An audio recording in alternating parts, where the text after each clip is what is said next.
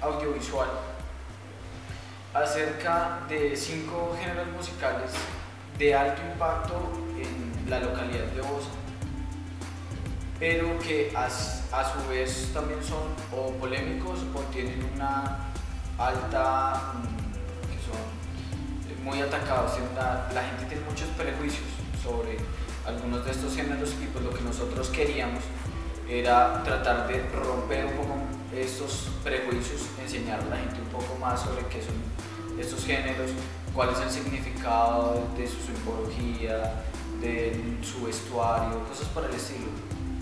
Eh, cómo surgieron los géneros, datos curiosos de algunos de los artistas, eh, para, que, para que la gente, digamos que atacábamos dos cosas. La primera es eh, el desconocimiento, por lo general genera intolerancia. Entonces queríamos romper eso, pues, enseñar a, la gente un poco más sobre... Eh, este mundo desconocido para muchos y que empezaran a tolerar un poco más estos géneros. Eh, y por el otro lado queríamos también atacar lo que es los gustos como por moda, por así decirlo. Evidenciamos en muchos jóvenes que son seguidores de un género porque su núcleo de amigos es seguidores del género. Entonces queríamos hacerles ver un poco más sobre qué es lo que están siguiendo, que sean conscientes de la decisión de decir, sí, me gusta el rock, me gusta el reggaetón, me gusta el rap, y que tengan criterios a la hora de hablar de, de, estos géneros y de respetar, y, por qué no hacer respetar sus gustos, tener eh, fundamentos a la hora de, expresarse al respecto.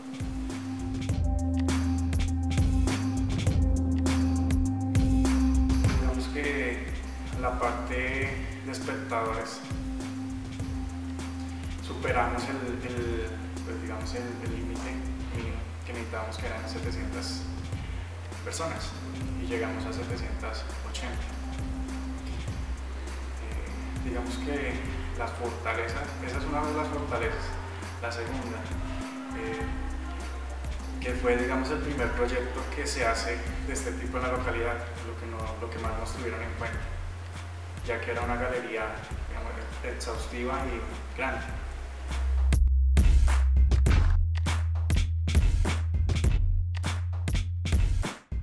Ese día eh, teníamos presentado ese proyecto en el cual no muchas personas nos colaboraron, digamos, a ver la galería y lo que más nos produjo, digamos, eh, problemas fue con la parte de electricidad que digamos en ninguna casa nos querían prestar porque no creían que era como algo referente a la alcaldía. Digamos que otra de las dificultades que evidenciamos fue eh, que en algunos sectores de la localidad las personas no están muy dadas a, lo que son los espacios de cultura. Entonces, digamos que nos pasó que en los dos lugares más concurridos y en los que esperábamos generar el mayor impacto, el nivel de apatía era muy alto. Muchas personas tenían eh, en mente que el espacio se usa de cierta manera y esa manera la usan tradicionalmente y todos los domingos van allá al parque y, es a jugar y entonces se encuentran con algo nuevo, novedoso, algo cultural y pues simplemente lo ignoran en muchos casos, le echan una vista rápida, pero digamos que se pierde, se pierde ese, ese nuevo uso que se le está dando al espacio, insisto, en algunos lugares, no en todos. Digamos que la fundación por esa parte cumplió sus metas con el montaje y todo eso. Pero digamos hay un apoyo, eh, un apoyo más como de, de tener en cuenta cada proyecto. Por ejemplo, nuestro proyecto era más inicialmente de montaje, de comprar eh, material y todo eso, que teníamos planeado mínimo un mes. Y en sí llegó la plata 15 días antes ocho días antes, pero nos tocó aplazar la primera fecha, seguirla, eh, rotarla ocho días más. Entonces, un inconveniente, un inconveniente grave en esa parte.